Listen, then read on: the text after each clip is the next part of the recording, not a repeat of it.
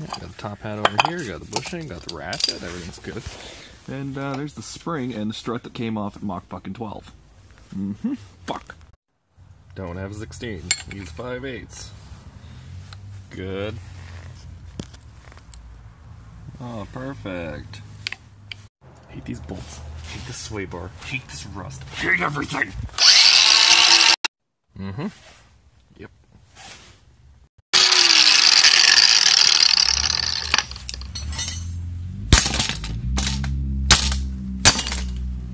Mm-hmm.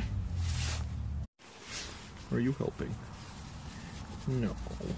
You're just making sure I don't get anything done. Oh, you're so good for that. Yes, you are. Oh, yes.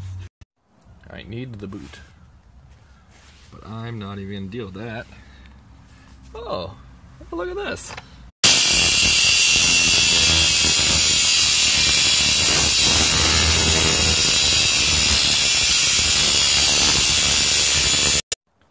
was really easy to work on. I just had to find a special Mercedes tool. It uh, really helped fix everything. Special Mercedes tool. Mm-hmm. Yeah, so I got yeah. Yeah, just a little bit more. Yeah. Perfect.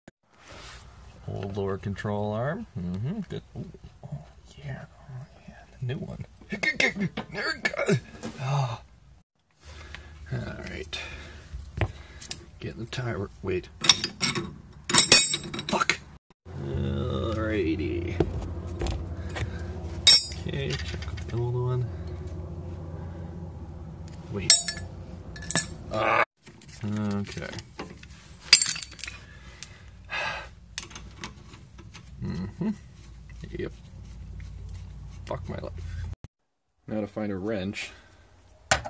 Fits the inner probably metric 9 sixteenths. Ooh, good enough. People tell me working on cars is hard. Fractions are hard.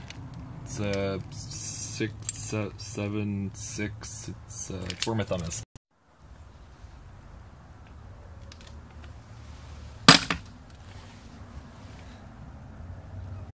Have to actually do an alignment. Measure your tie rod end. Make sure they match. Next, you find a pairing point. For me, I picked where the boot attaches. Then we go to this one, do the same thing. It has to come out a little bit. Then you turn the outer tie rod anti-clockwise. Check. Needs a little bit more. Do half a turn.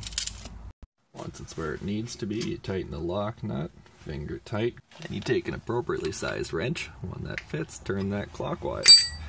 Or you can take one that's too small and hammer it on, because we only do things right around here. And you just turn it until it's facing the right way. Oh my god, would you look at that? It worked. So with that done, just prop it up on something, put your foot on there to hold it. Don't wear eye protection or gloves or anything like that, because you hate your life and have no future.